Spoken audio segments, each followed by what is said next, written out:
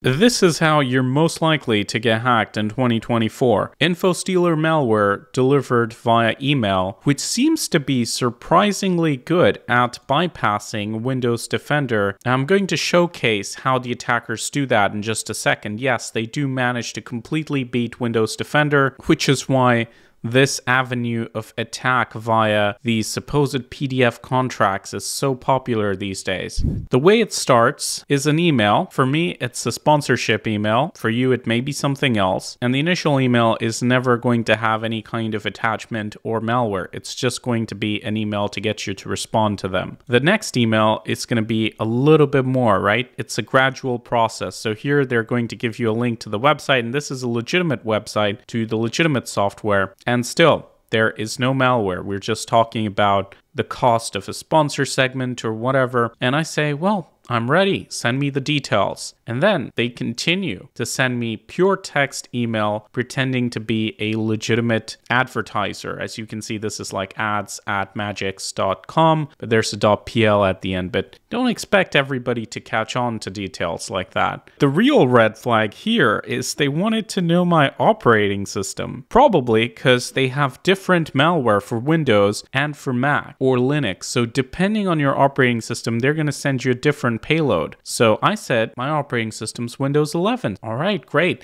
And then they send me this link. Now, what happens when we visit this link? Let's just copy it and try it in a virtual machine.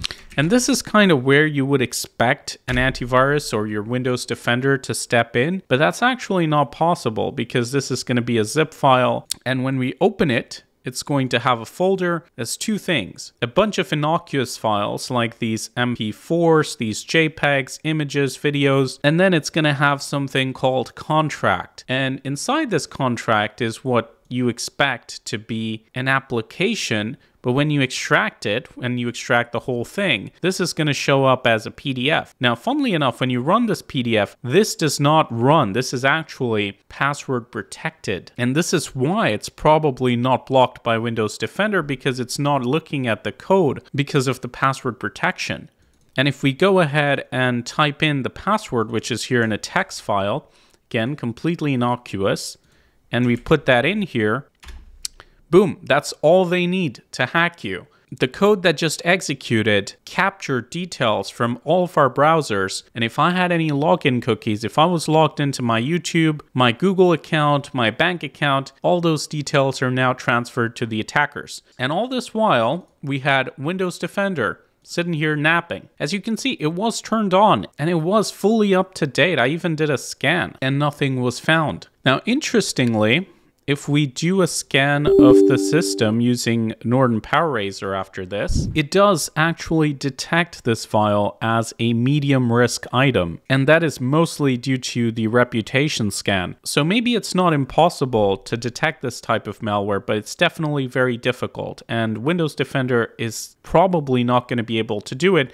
because this particular detection seems to be a reputation detection. Windows Defender can't do that because it runs on every Windows system systems. And even if it did, it would create so many false alerts for other applications that you would just get used to allowing the alerts that Windows Defender gives you anyway. So this is one of the prime examples of when you do need situational awareness in order to avoid being the victim of a cyber attack. Now, once your details have been captured, you don't know what's going to happen to them. They may be sold on the dark web or in a Telegram chat like this. Here we've got an attacker that's selling WhatsApp numbers sorted by age and or gender. So you really want to make sure that you change your password. Even if you accidentally run something like this and realize it just after running it, go ahead and change the passwords, log out of all of your existing browsers and secure any of the sensitive accounts that you have because a lot of the times these attackers will sell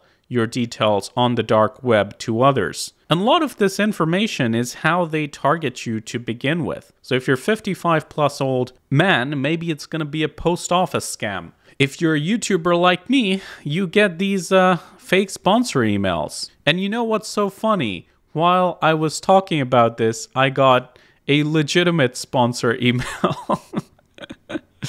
which I'm not interested in, but that's kind of funny. But hopefully, that shows you that the reason I'm being attacked by this particular method is because they know that as a YouTuber, I am going to get these emails. So, if I were not tech savvy, or if I were marketing and sales executive and not, you know, the guy from the PC security channel, I might just click on this stuff. And all of this data, including Stealer logs and specific usernames and passwords, are being exchanged throughout the dark web and also on platforms like Discord and Telegram. And if you'd like to find out if you've been compromised or if your details have been shared anywhere on the dark web, you could actually search Flare's platform for it, who is the sponsor of today's video. It's crazy how many Redline Stealer logs are just out there on the internet for people to download and check out. When I do a search for the PC security channel, on the first page itself, it looks like my details have been part of a Stealer log. So